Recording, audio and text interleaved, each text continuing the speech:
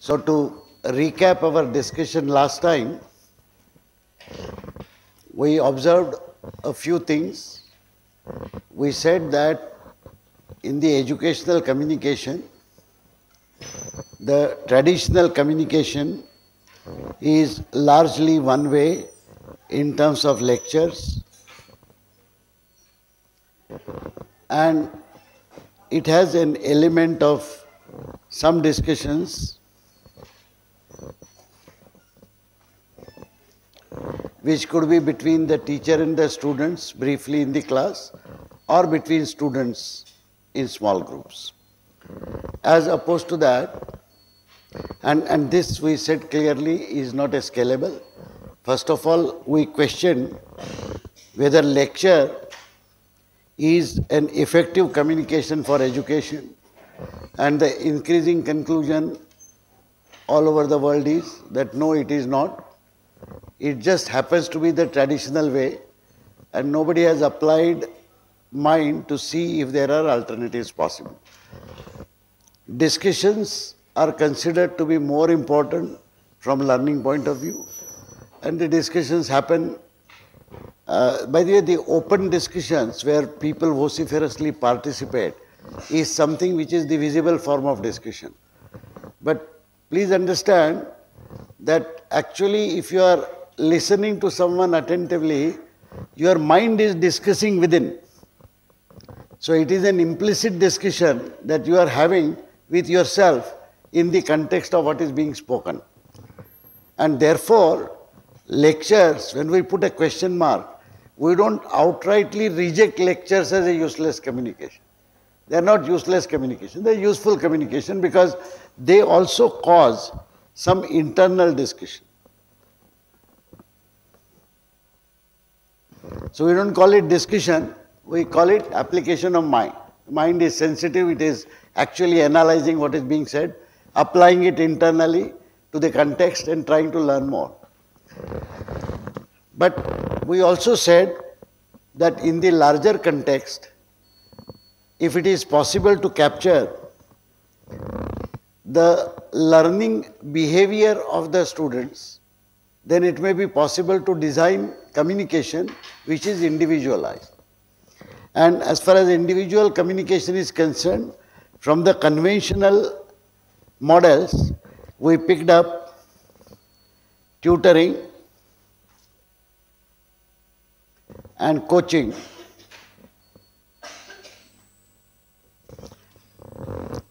Not as a large scale coaching, but individual tuitions or individual instructions.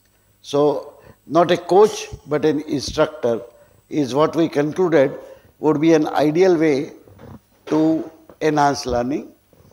But since it is not possible to scale, because we will invariably have far fewer tutors, instructors or teachers and a much larger number of learners.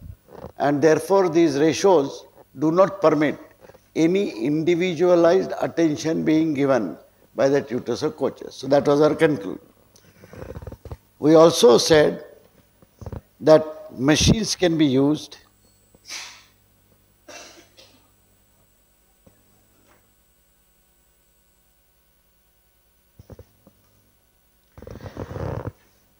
as tutors or instructors and we concluded that machines can be used but they cannot be a replacement of human mentors or human teachers, but they can augment and substantially complement the way the human teachers or tutors handle communication. And therefore, we said use of machines as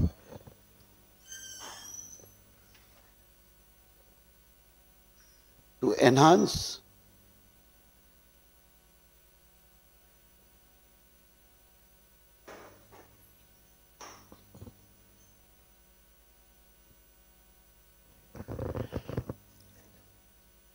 an extreme of the use of machines to enhance individual learning is where you try to replace the human element in the form of lecturer, tutor or coach. So you have self-tutoring systems, online tutoring systems, online assessments, etc., etc. Or if you take MOOCs, for example, It is another extreme example of an individual working with a machine. Of course, the back-end knowledge of a particular course and driving of that course as a budgeted mechanism of learning something, applying your mind, solving problems, learning something more, etc., much like how a course is conducted, is implicit in MOOCs. The advantage is a machine is available to you at your time of choice, at your place of choice, and that makes it completely different from the conventional education. There is one more thing that we discussed, is that the current mechanisms of personalized instructions, even using machines which have evolved over last 30 years in terms of intelligent tutoring systems, invariably depend upon individualized communication being generated based on the performance of the learner in some assessment. So, the current state of individualized communication is essentially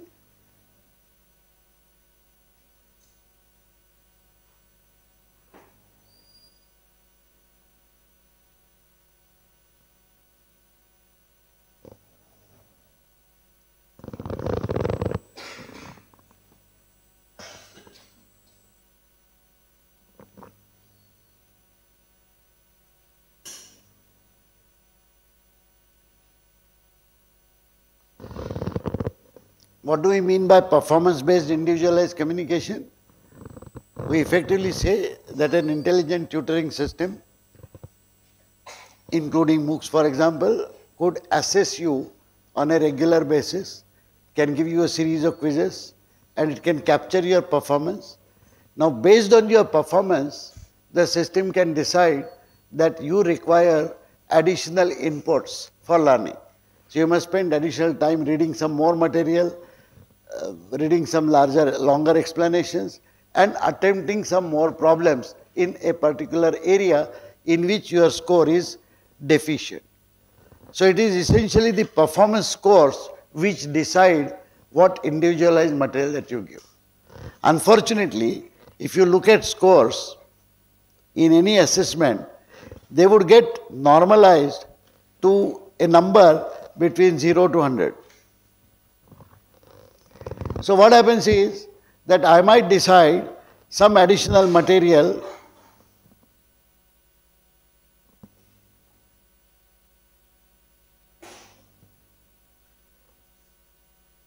set 1 for people who score around 30% marks.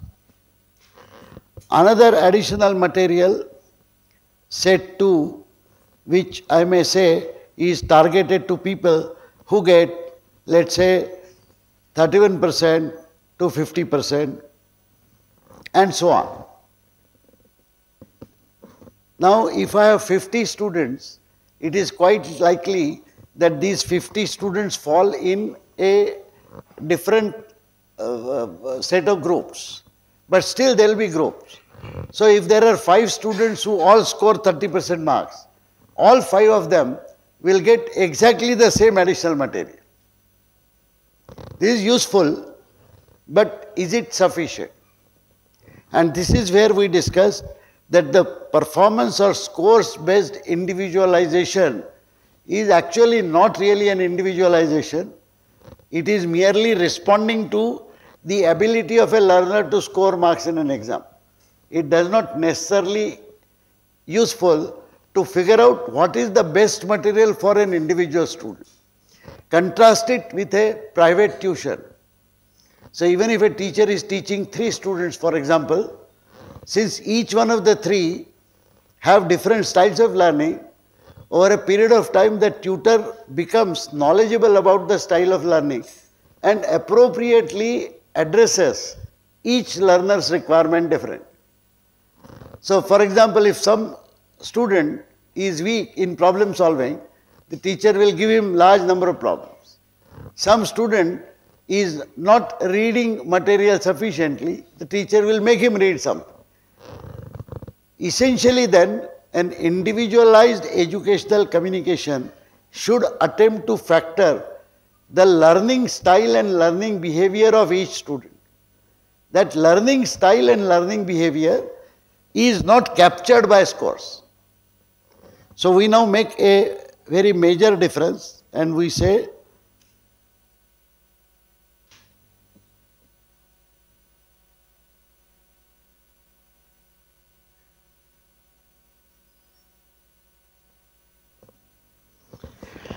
learning behavior based personalization. Last time in the last session we discussed there are two aspects of it. First of all, can I capture learning behavior to begin with?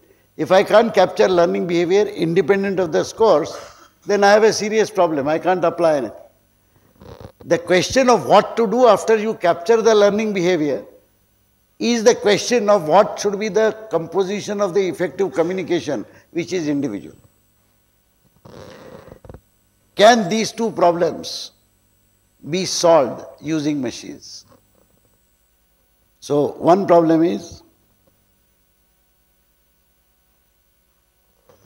capture learning habits. And the second problem is use. How do machines help us in doing either? This was a question that we need. So we are now talking about communication that is happening intrinsically. Two assumptions which are sacrosanct. Number one, the number of learners will always be very large as compared to the number of educators, this is a generic term that I use, which could be teachers, teaching assistants, faculty members, tutors, coaches, instructors, whatever. What. So the numbers are not in favor of proper ability of human instructors to coach individual learners. That is the reason why we are seeking additional help. How could this help? Last time we concluded in the last lecture by saying what all things can be captured which can be indicative of the learning behavior of the students. So anybody cares to recall those things which we said machines can capture when people are required to do online courses mostly. If they are doing any online course, then what features of their learning behavior can be captured through the online mechanisms. Last, last time we had listed a whole lot of things. Anybody? The amount of activity which a student performs on so you have to name some activities. Activities including watching, uh, reading, accessing the material, opening some links. Accessing, hopefully reading. Hopefully reading. Yeah. Then we had also said viewing video lectures. Watching video lectures, Yeah. accessing some links or downloading some content. Okay. Then if there are quizzes, then answering or attempting the I, I will mention one more thing which you are missing out. Practice problems. problems or quizzes. Yeah. So these practice problems are almost like quizzes, but these are not graded. The only difference between practice problems and quizzes is quizzes are graded for which marks are awarded and are counted towards your performance. Practice problems, there is no count. You may get a score right or wrong or whatever, but that is for your influence. And you will have graded assessments. Anything else that you can capture? Anybody from the group which did not attend the last session but have participated in any MOOCs course on any platform anywhere in the world, can you say what additional communication that happens during the course that gets captured or can be captured? So I'll say discussion forums. Okay. There are two aspects of discussion forum. One is weaving and the other is participation. So we'll write both.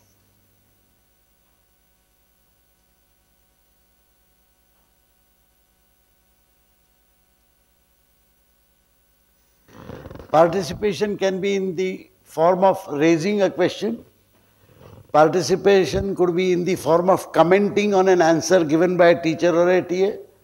Participation could also be in the form of giving an answer directly to a question that is raised elsewhere. Weaving.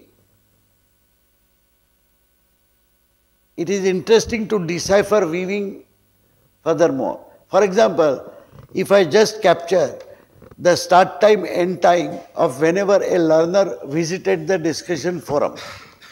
I can only surmise at the end that during the two months or eight weeks or six weeks of the course, this particular learner visited discussion forum for let's say 3 hour 50 minutes. Now, it might tell me in a gross sense how much time the student is spending on discussion forum. But is that the only information that you can decipher?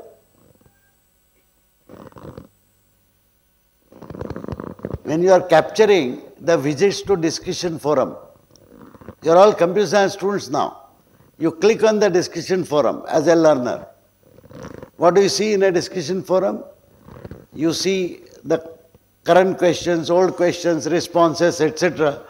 Typically, for a large course, there will be tags there will be tags related to topics.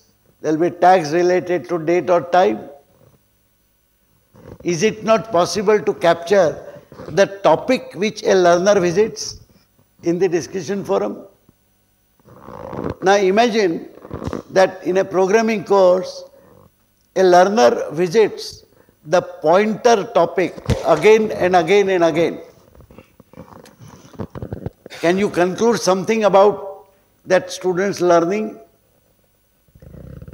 that probably that student requires additional help to understand pointers properly, where the student is spending more time looking at the pointers.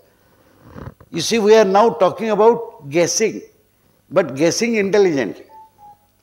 There is no concrete information because we are not asking a student. In fact, if you ask a student, which are the topics in which you are weak, the student himself or herself is likely to comment on one's weakness based on one's course, which is not really related to learning. Because our mindset. We assess ourselves based on the scores in competitive exams. We don't assess ourselves independently. So therefore you have to intelligently guess and understand and therefore try to build what is known as a student model.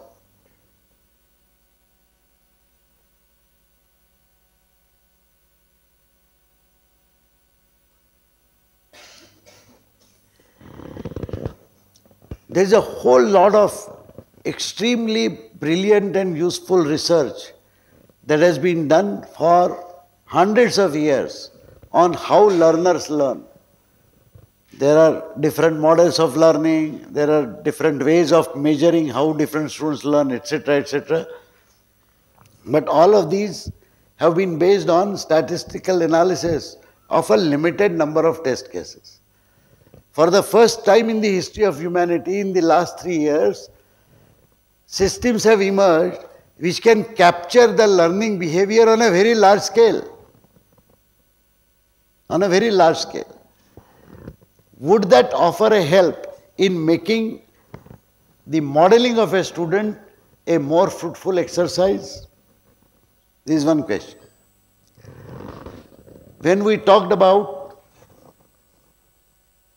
capture of learning behavior and when we talked about using that learning behavior, I am talking about an intermediate step here. Capture, model and then use. You agree? So capturing individual interactions of different kinds is one thing.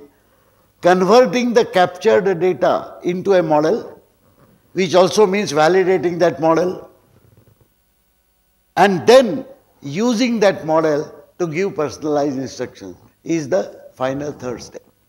Okay. So the construction of a student model.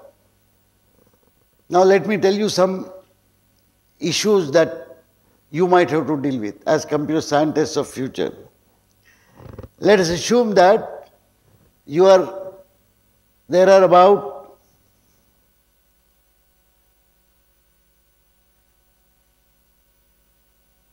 ten million learners learning a course.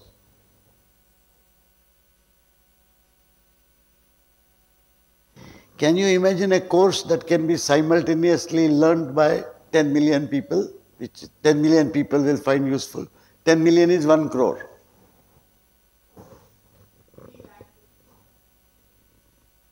Sorry? Language course. All right.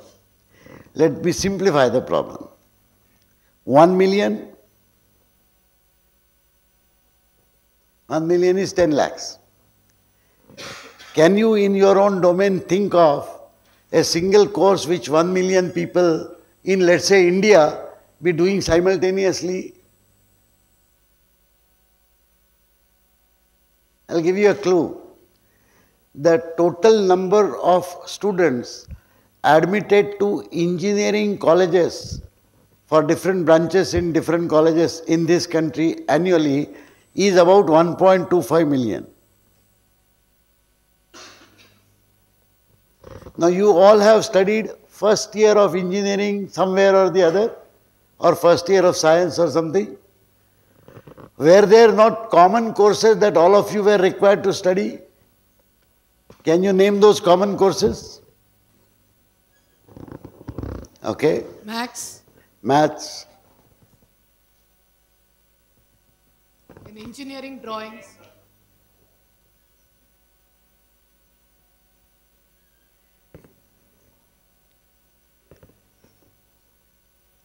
In programming language,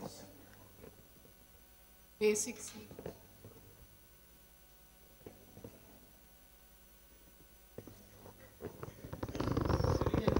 electrical engineering, basics. Basics in all uh, is communications course obligatory for everyone? So what do they teach in the basic communication course?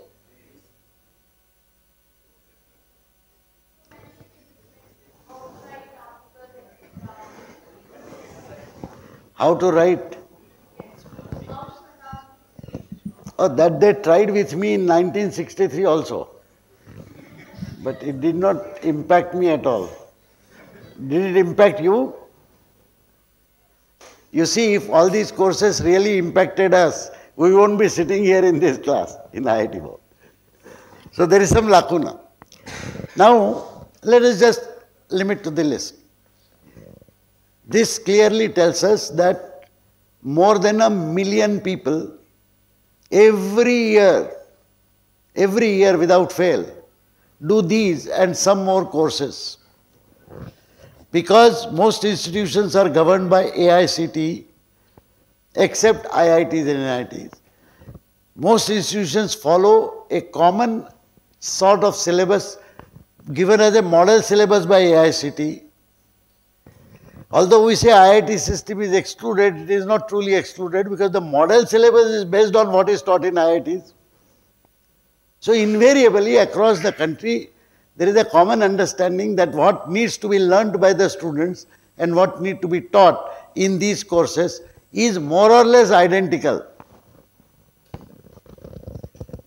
Now, isn't this an extremely good starting point to say that look, if I can do something about finding out how these students learn and help them learn better, then I would have used machines effectively in educational communication. By the way, this is one of the reasons why, unlike our other two sister institutions, we directed our MOOCs efforts to basic courses and not to the higher end electives. NPTEL, for example, is a great effort being done by IIT Madras. The NPTEL MOOCs are all higher end electives, MTech electives, higher end electives. Uh, Professor Prabhakar's effort in IIT Kanpur is mostly for agricultural courses and skill courses. IIT Bombay, right from the beginning, concentrated on offering courses which are done at the entry level, first year or second year of engineering. Why? Because of the commonality of the content which will be learned by a very large number of students across the so we have today a course, for example, in programming. We have a course in basics physics, which is just getting ready. We have a course in thermodynamics. We have a course in signals and systems. We will be preparing a course in engineering drawing. And I am trying to enthuse our maths colleague to offer a basic course in maths. Now, second question. Which are the courses which are considered traditionally to be most difficult courses by a large number of students across the country from amongst these. Simple, go by the failure rate. So maths, we give it a star rating. Drawing,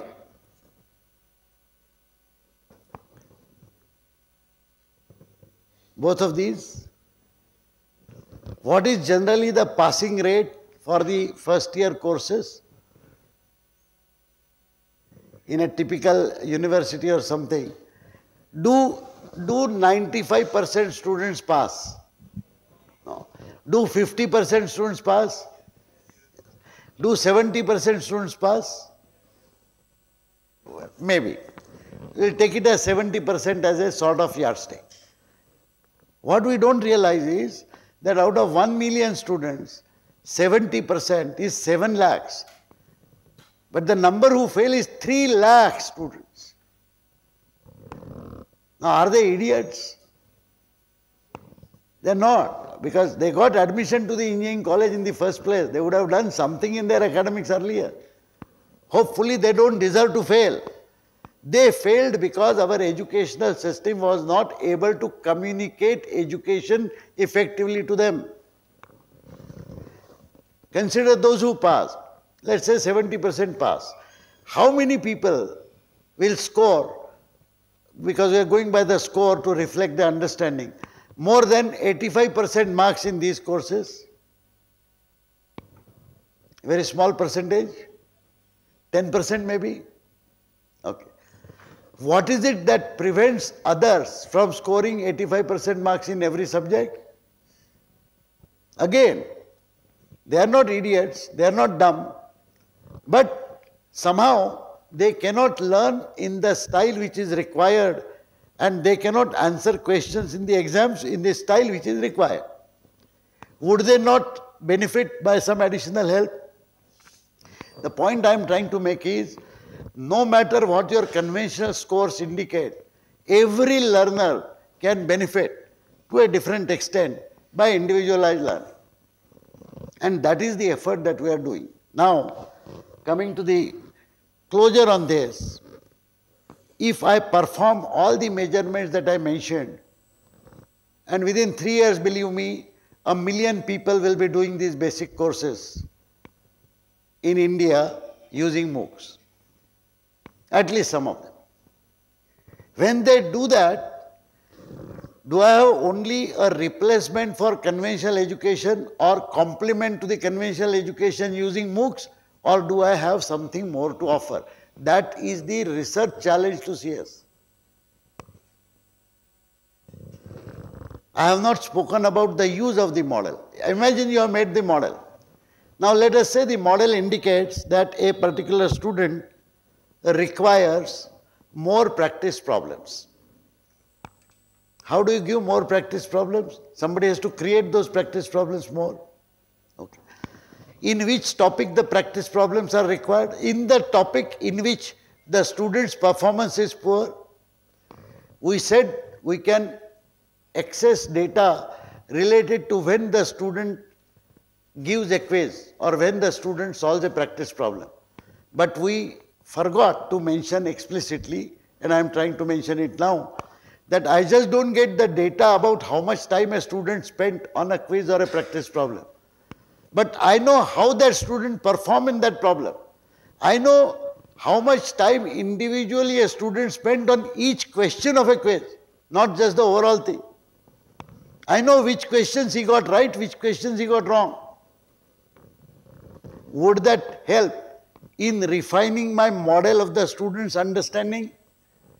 Can I not make an understanding which is focused on understanding of individual topics rather than just a gross judgment of a 30% score overall or 40% score overall.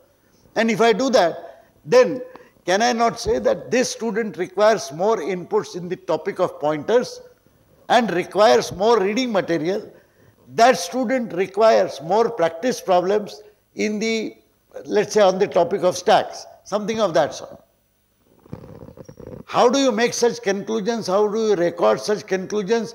How do you refine such conclusions after more evidence is gathered? That's a huge, challenging big data analytics problem. You agree? That is where we believe that a large amount of machine learning efforts would be spent in, in coming years and decades in the field of education. So, needless to add, I will repeat what I said earlier. This is clearly the reason why personalized instructions has been included as one of the 14 grand challenges for the 21st century by the American National Academy of Engineers. And it is ranked at the same level as clean drinking water, inexpensive solar energy, brain mapping. These are some of the other uh, areas which are considered grand challenge, grand engineering challenges for 21st century. Personalized instructions is given that status. I hope you understand its importance and, and its implications there. Okay.